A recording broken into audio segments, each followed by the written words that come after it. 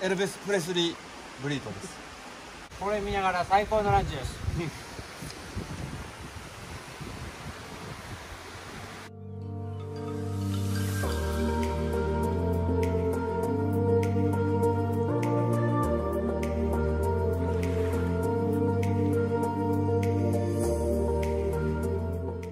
人生変わりましたね。Far West Life 皆さんこんにちは。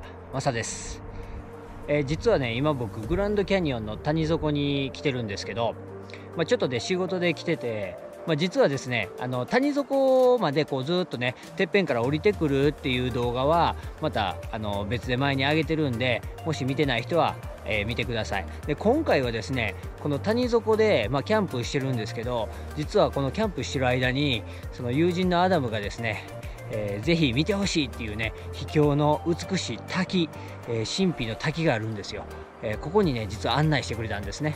でなかなかやっぱりね、えそういう普段見ることができない景色なんで、えーぜひ皆さんにそれをねお見せしたいなと思って今回それを撮ってますんで、え見てほしいなと思います。それがねこのグランドキャニオンの谷底のこのまあ宿泊施設があるところファントムランチっていうんですけど、えーここからですねだいたい片道10キロえー往復20キロでこうね行って帰ってくれるっていうところにある秘境の滝。それをねぜひ見てほしいと思いますんでこんな感じになります。ではどうぞ。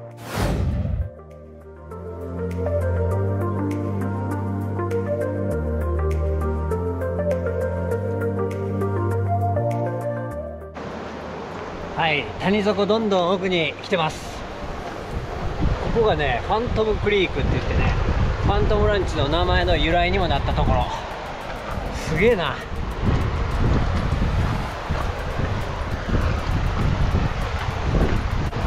キャンプした他のハイカーたちもねどんどん歩いてます、まあ、僕もねあのアダムと撮影部隊の後ろに続いてちょっとこっそり撮ってるんですけど。はい。これからまたどんどん歩いていきます。すげえなここ。こんにちは。 Ribbon Falls 滝に向かってます。そうあのファントムランチからさらに奥にあるノースカイバブか北の方に向かってます。アダムのおすすめの滝ですね。リベンリリボン。 Ribbon Falls。リボン滝。あ今 hot box の中に歩いてます。冬だから全く関係ないけどあ夏はここね朝でも40度超えてます空気が全く動きませんから。うんあそうだよね。放射熱地面からの放射熱岩から出てる放射熱太陽から来てる。暑いですよ。 death box とも言いますけど。あその時はこの川にこの綺麗な水。これは雪解き水だからうん。真夏でも冷たくて気持ちいい、まあ、30分おき1時間おき川にポチョンと入ります全然なんかあの上から見る景色と違うよねこれね。別世界ですね。え。まあここで見てるね変成岩とかえはい。花崗岩とかねここはあの元マグマのドラフタピンクドラフタうん。美しいちょっと失礼の話結局噴火できなかった。うん。噴火されあの噴火する直前固まった。水晶がいっぱい中に入ってる。高い水晶じゃないへえとにかく素晴らしい。上から見るとここはすごい地味に見えるんだけどうん。実際降りてくるとやっぱりこの岩の美しさそうだよね。迫力もすごいしね。はい近くで見れるんでね。大好きです。イナーボックスがね。また違った。なんかこうもう文明がないところに来ると精神的にも違うよねなんかね。そうだよね。この文明がないと自然になんでかわかんないけど自分がリフレッシュするんだよね。バトリチャージができる。うあと自分がもう少しなんか原始人に戻って。ん原始人。そうじゃないんだけど。まあわかるよ。ねバックパックも使ってるストックも使ってるしでもまあ自分がんいやでも本能の自分がなんかちょっと出てきてるみたいな。いや電波がないところでちょっと生活するだけでももうかなり違うからね。そうだよね。あ確かに。あいやこれは素晴らしいよ本当。アダムとじゃないとこれ来れないからねてくださいね。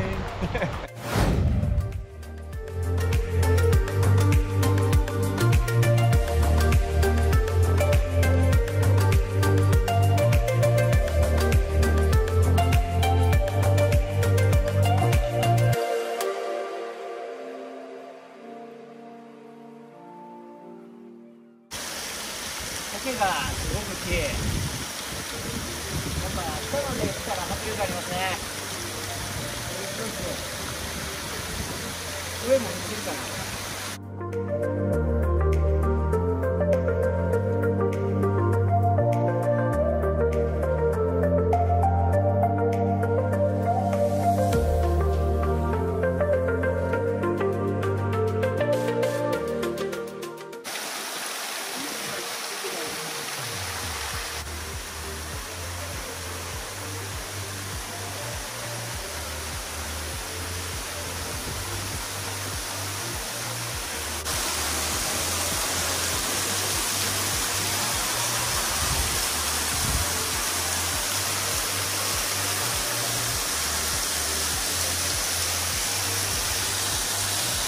じゃあ今滝の裏側に来たんですけどちょっとこの水の下まで行ってみます。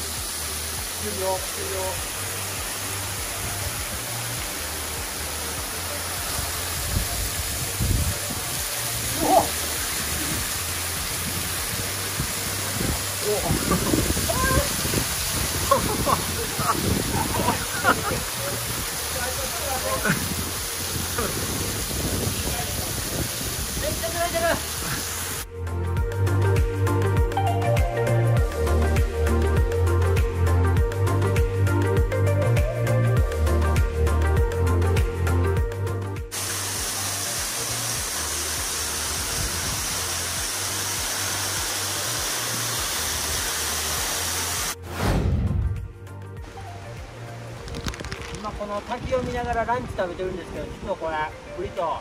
今日の朝キャンプ場でアダムが作ってくれたブリトーなんですけどこれ何ブリトー？エルビス・プレスリーブリトーです。どういうことそれ？エルビス・プレスリーはね、有名な話なんだけどメンフィスであるカフェいつも行ってたんだけどね。で特別彼しか出入りできないとかでそこに入ったらメニューに載ってないえーまあ、サンドイッチっていうか本人の希望だったんだけど、トーストの上にピーナッツバター塗ってその上にバナナ。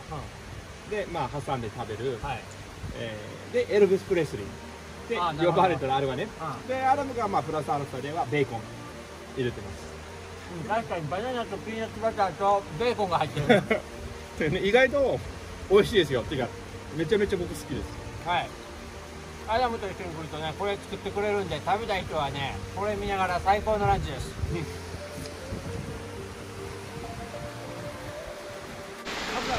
れ上から流れてるはい水溶き水、これ綺麗な水です。まああれでもいや臭みはあ。りえないかもしれないこれ私がこのままえ飲めんのこれ。めちゃめちゃ飲んどるあのこれはアダムが飲んでも大丈夫なんですけど普通の人が飲んだらお腹が痛くなる可能性があるんで注意してください。はい。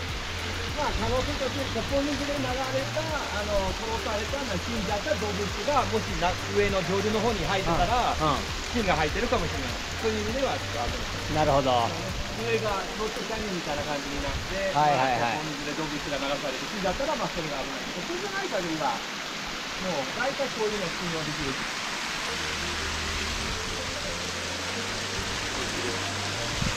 キャンプ場に戻ったら私めっちゃ下痢してるからちょっとでもせっかくなんでね、はい。当分来ないんで飲もうかな。ちょっと。ははい。すいません。この水ですかね。あめっちゃ冷たい。撮影してるよあしてる。いや味は別に。美味しいでしょ？青臭くないし、はい、全然大丈夫なんだけどもしかしたら。後で下痢しちゃう。か下痢するかも。こっちは火が弱いんだ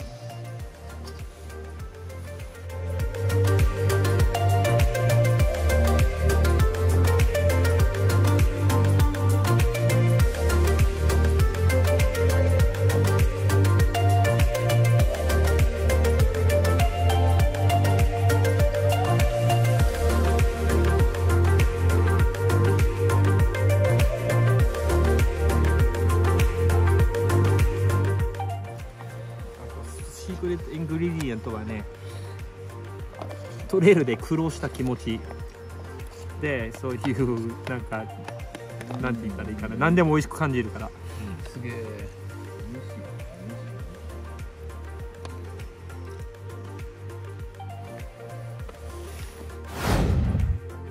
はい皆さんいかがでしたでしょうか？やっぱねアダムとじゃないと全然わからないようなところとかいっぱいあるんでほんまに今回ね来てよかったなって思いましたまあ今回はねあの仕事で来て、まあ、彼のね、えーこれから出るツアーの撮影の、まあ、手伝いということでね、えー来たんですけどもうこういうねグランドキャニオンの谷底とか普段まあなかなか行けない中でさらにその奥にある秘境とか、まあ、そういったものを見てねやっぱね人生変わりますよ。うん僕もね初めてこのグランドキャニオン来た時とかもう人生変わったって思いましたよね。